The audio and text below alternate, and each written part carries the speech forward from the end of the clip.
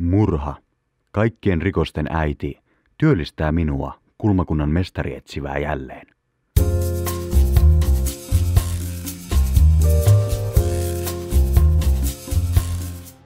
Mulla on rikosetsivä Rauno Ronkainen ja otan tästä eteenpäin ohjat omiin käsiini.